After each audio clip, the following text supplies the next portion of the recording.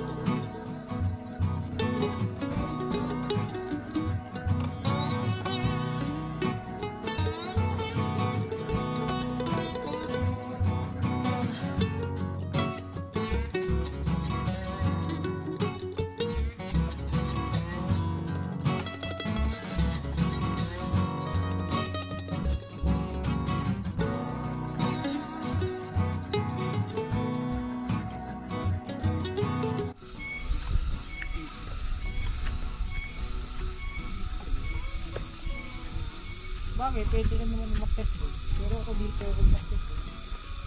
Dito kasi ako dumaan kanina.